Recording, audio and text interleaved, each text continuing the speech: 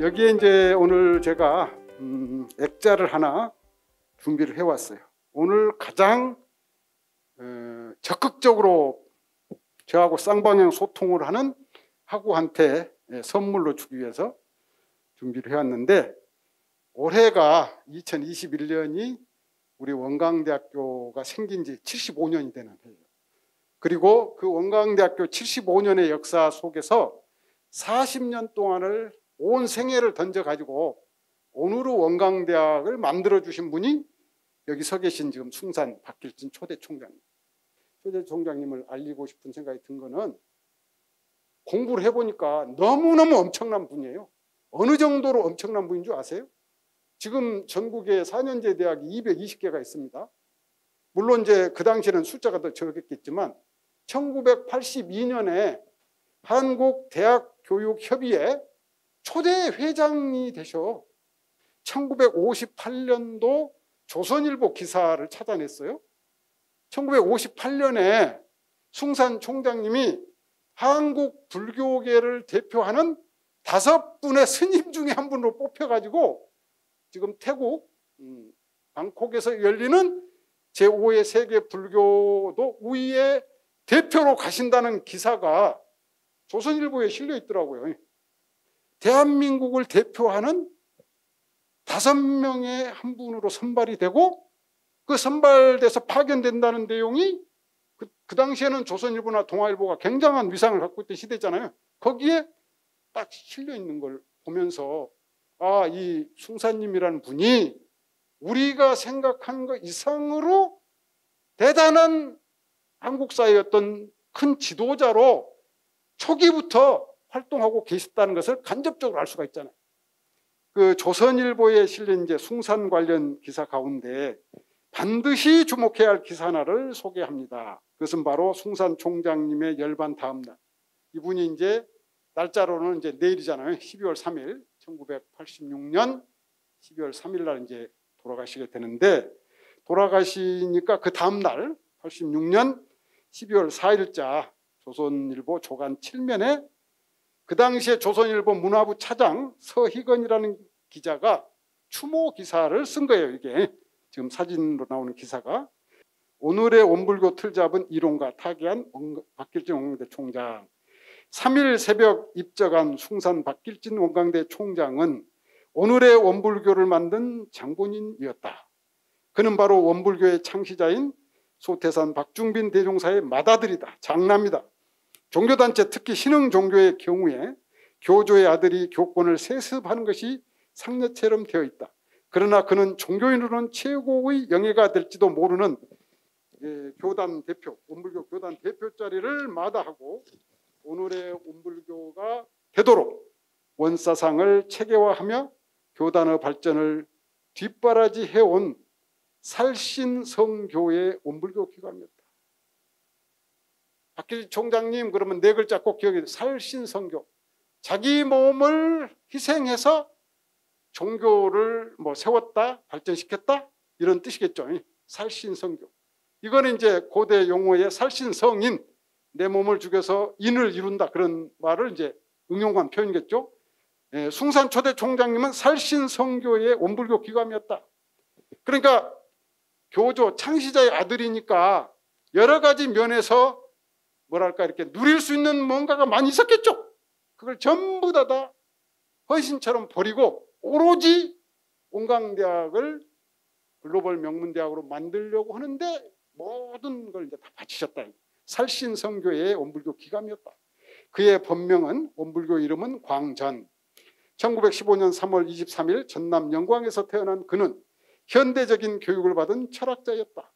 배제 고보를 나와 동경에 유학, 동양대학 철학과를 졸업한 그는 말단의 교역자로 출발했다.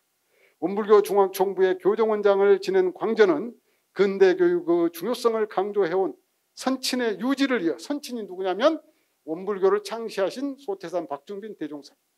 요 대목을 또 강조할 수밖에 없어요. 원광대학은 그냥 생긴 대학이 아닙니다. 지금 이제 정식으로 출발한 게 1946년이지만 실제로는 일제 강점기에 이 숭산 총장님의 아버님 소태산 대종사께서 1928년에 고등교육 기관을 세워야 되겠다고 결의를 한 문서가 나와 있어요. 그러니까 원광대학이 어떻게 보면 그 꿈의 시작은 1946년이 아니라 1928년이죠. 그런데 일제시대 때는 우리 민족의 힘으로 고등교육기관을 세우려고 많은 노력들을 하잖아요. 그게 이제 밀립대학 설립운동이라고 그러잖아요. 그걸 일제가 어떻게 했죠? 전부 다 좌절시켰잖아요. 왜? 저놈들이 실력 양성을 해가지고 독립을 빨리 할까 봐. 그러니까 소, 아니 저 중앙정부 중앙에서 하는 그런 것들도 탄압하고 허가를 안 하는데 아직 이름도 거의 없는 그 초기에 이제 원불교 이름이 불법 연구에 몇 사람이 이게 대학 설립한다고 그러면 그 가당치나 했겠어요? 그러니까 일제시대 내내 이 꿈은 이루어지지 못해요. 그러다가 이제 해방되자마자 1년을 준비해서 유일왕님이란 이름으로 이렇게 오늘의 원무강대학교가 시작이 되는데 원불교 창시자인 소태산 대종사님이 일찌감치 근대교육의 중요성, 현대교육의 중요성을 알아보신 성각자였다. 그러니까 그 아버님의 유지를 이제 이었다 이렇게 볼 수도 있겠죠. 그래서 선친의 유지를 이어 유일왕님으로 출발해갖고 이제 정식으로 그 당시에 문교부 인가가 1951년에 나와요. 46년부터 51년 사이에는 유일왕님 이름으로 지금으로 말하면 이제 비인가 학교였다면 정식 인가가 이제 1951년 그 당시에 이름은 원강 초급대학이었습니다. 원강 초급대학을 창설하고 현재와 같은 지방 굴지의 종합대학으로 발전시켰다.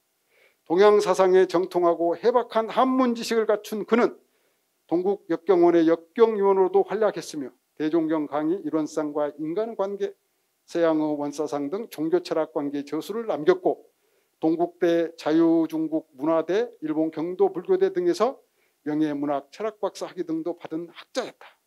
원불교의 마지막 직책은 최고 의결기관인 수의단의 단원. 원불교 대표자로서 손색이 없는 역군과 능력을 갖추었으면서도 그 이상의 교직은 완강히 거절해온 것으로 알려졌다.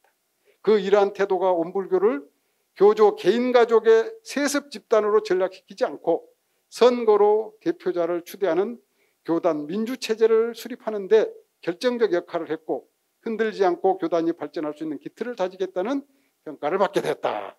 1m 77의 훤칠한 키에 예, 훤칠하시죠. 원불교 교리의 상징처럼 원만한 성품의 그는 항상 미소를 얼굴에 담고 있었으며 이 같은 너그러움으로 어려운 일을 많이 맡기도 했다. 그는 지난 82년 창립된 대학교육협의회 초대 회장을 역임했고 1985년에는 종교인 협회장을 맡기도 했다. 생불 살아있는 부처님이라는 찬사를 듣기도 했던 광전은 신흥종교 원불교를 정통종교 대열에 진입시킨 진정한 원불교인이었다. 끝으로 이제 주목해야 될 게 이분이 아까 처음에 이제 58년에 그 세계 불교도 우위의 한국 대표로 가셨잖아요. 돌아가실 때까지 세계 각국을 돌아다니시고 1958년 전에 2년 전에 1956년에는 미 국무성 초청으로 한 3개월 동안 유럽, 동남아, 미국을 돌아보시더라고요. 한 20개국 돌아다니신 것 같아요. 45년 이전에 세계적 성자 3대 성인, 3대 성자 슈바 있죠? 간디 또 한 사람 있어요. 그 또 한 사람을 송산 총장님이 만나신 거예요. 일본인 카가와 토요이코라고. 이분은 이제 해방 45년 직후에 그 미국의 지원을 받아서 제국주 일본을 청산하고 이제 민주 일본이 탄생될 때 수상 후보로까지 올랐던 분이 카가와 토요이코라는 분을 만나시더라고요. 아, 세계적 3대 성자로 꼽히는 슈바이처 간디, 카가와 토요이코 세 분이 있는데 카가와 토요이코의 자택을 방문해서 문답을 하는 기록이 남아있어요. 그분하고 만나가지고 신이 어디 계십니까? 그랬더니 빙긋이 웃으면서 나뭇잎을 가르쳐 주셨다는 거예요. 이 나뭇잎이 신입니다. 원불교로 말하면 처처불상 사사불공이죠. 그러니까 저는 이제 그 대목을 읽으면서 아 크게 트인, 크게 열린 깨달으신 종교인들 세계는 통하는구나. 내가 기독교에 몸을 담고 있어도, 내가 불교에 몸을 담고 있어도, 내가 타종교에 몸을 담고 있어도 서로 통하는구나 하는 걸 느꼈어요. 하여튼 그런 그 세계적인 거장들을 두루두루 만나면서 왜 만나고 다니셨겠냐? 돌아가실 때까지 85년, 86년까지 꿈이 하나였어요. 세계 평화. 인류가 빈곤과 무지와 질병이 없는 그야말로 상생생의 평화로운 세계를 그래서 이분을 이제 제가 하나 더 덧붙인 게 진정한 원불교인 다른 말하면 진정한 원불교 종교인 주인 위대한 교육자 참 한국의 서양철학 개척한 철학자 그리고 네 번째로 세계 평화를 평생 꿈꾸면 꿈꾸면서 어, 일생을 어, 그 평화를 실현하기 위해서 세계를 누렸던 열린 종교인. 이 네 가지가 우리 숭산 초대 총장님을 뭐랄까 이렇게 좀 대변한다 그럴까 그 그분의 삶과 사상 속에 드러난 특징을 설명하는 키워드가 아닐까 이렇게 한번 정리를 해봤습니다. 마지막으로 마지막으로 여러분에게 꼭 당부하고 싶은 음, 메시지가 있습니다. 꿈을 꾸자. 그리고 그 꿈은 클수록 좋다. 꿈을 크게 꾸는 데는 커트라인이 없잖아요. 누가 방해할 거 없잖아요. 그리고 그 꿈을 향해서 한번 어, 세 가지로 한번 실천해 봤으면 좋겠다.